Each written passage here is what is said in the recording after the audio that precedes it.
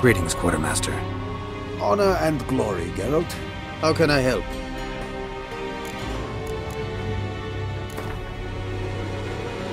Been a while since I played cards with a subject of His Imperial Majesty. Game of Gwent. Let's lay him down.